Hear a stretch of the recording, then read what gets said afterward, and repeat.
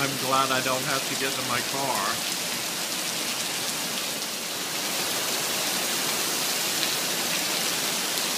Here comes a can.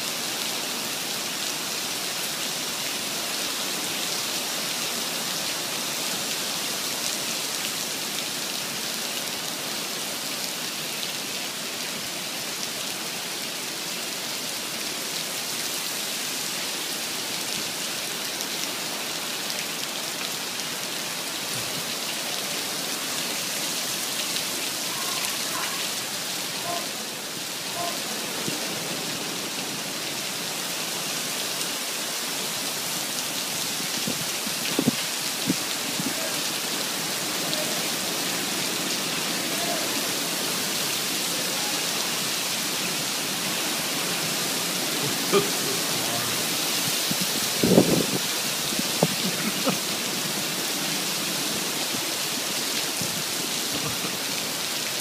you?